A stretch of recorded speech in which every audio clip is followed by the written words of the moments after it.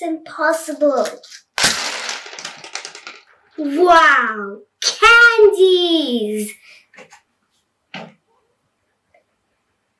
Mm, I don't think these candies are my favorite. I prefer fruit more than candy.